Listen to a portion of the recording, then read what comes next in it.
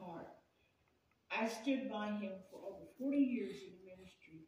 I had to learn something. Amen? Amen. He did thousands of funerals, and I helped him. And I said, Lord, I know how to do one. What am I panic? I spent 40 years with this man. I know what I'm doing. And then I come down to the message, and, and the Lord again spoke to my heart. He said, You're in a natural death, but we're in a spiritual celebration. So then I changed my message. And, and then I learned, as I begin to learn these things, I realized that serving God is totally backwards. Hmm? You know what I'm talking about? It's backward. Sometimes when God tells you to move forward, He wants you to move backward. Sometimes when He wants you to be still, you get fidgety and you want to move. Serving God does not make it hard. Don't let anybody ever tell you that serving God is hard. Amen? Yes. Because when you serve God, He's already made that path for us to be perfect and, and easy because Jesus done walked it. Amen.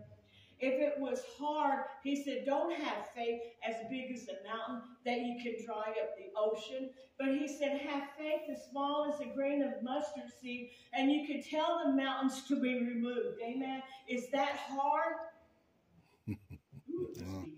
It's a little bit. he said, just a tiny bit. I went down to the part where I had half of a grain of mustard seed faith.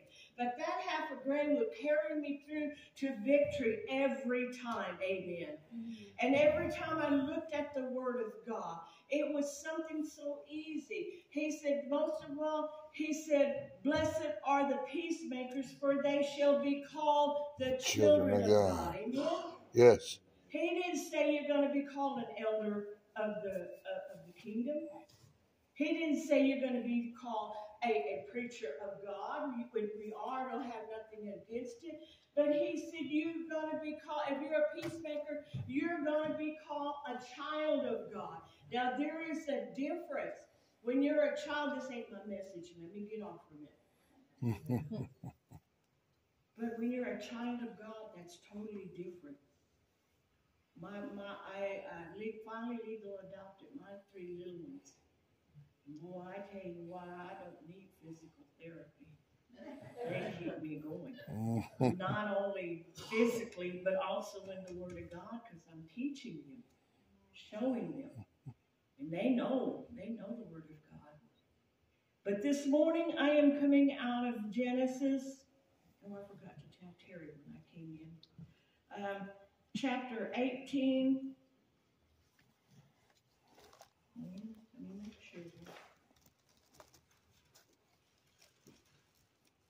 would be press forward. Press forward. Hmm. And it's out of Genesis chapter 19, verse 26. Heavenly Father, I ask you for a blessing upon your word. I speak your word to the north. I speak your word to the south. I speak your word to the east and to the west. I speak your word here in the house of God and the surrounding area and community. I speak your word, Father, because it's powerful and we need it in this day and time. God, sanctify my mind, sanctify my mouth, sanctify my heart, that I can stand before you through your word with clean hands and clean heart. God, truly, and I bind every spirit that would try to come in and hinder your word. Father, I pray, God, that I be the vessel, Lord, that you would have me to be. Truly, God bless this church and bless the pastor, and I ask this in the name of Jesus. Amen. Amen. As I begin to look at the Word of God, I found